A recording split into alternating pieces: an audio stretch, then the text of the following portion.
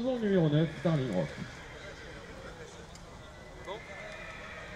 Voici le numéro 9, donc Darling Rock, une fille de Caproc et Tess de la Roche par Assessor.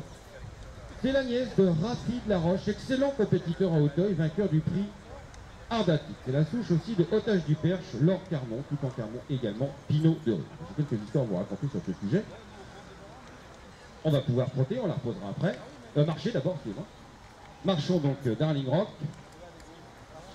Voilà, donc euh, Otage du Perche, c'est aussi la famille de Lord Carmon, tout en Carmon. Alors une grande, grande souche qui nous vient de Jumi, qui a été découverte euh, par les familles Lamotte Hardy, mais également Michel Hardy. Et Michel Hardy n'avait pas pu vraiment profiter de- de- de- des- grands succès de cette souche pour diverses raisons. À chaque fois, les juments avaient été vendus, etc. Mais patiemment, il a conservé cette famille pendant 30 ans ou 40 ans. On peut enchaîner au trot.